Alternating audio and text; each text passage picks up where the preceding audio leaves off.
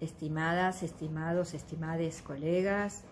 estamos viviendo en un tiempo muy complejo, plagado de dolor, incertidumbre y temores.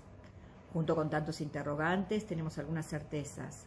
La certeza de que nadie se salva solo o sola, de que la salida es colectiva y que necesitamos de un Estado presente que mediante políticas públicas activas genere las condiciones para garantizar la vida y los derechos de todas, de todos, de todes, de cada una, de cada uno en articulación con las organizaciones y los movimientos sociales, en el marco de las particularidades que presenta la organización federal de nuestro país.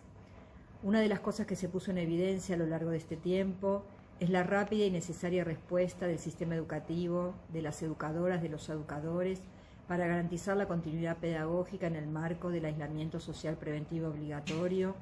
y del sistema de ciencia y tecnología para generar soluciones frente a la emergencia sanitaria así como conocimientos sobre algunos de los impactos actuales y futuros de la pandemia sobre nuestra sociedad atravesada por profundas desigualdades.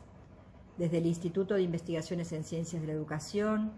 y a partir de los resultados de nuestras investigaciones en las diferentes formas en que éstas se desarrollan, nos proponemos aportar a la reflexión y participar del debate público sobre los problemas y los desafíos de la educación en esta coyuntura.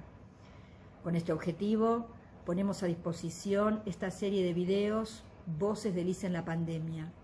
Son las voces de nuestros equipos, de nuestras investigadoras, de nuestros investigadores, que compartimos para contribuir a generar un espacio de diálogo entre los saberes que circulan en otras instituciones y ámbitos del campo educativo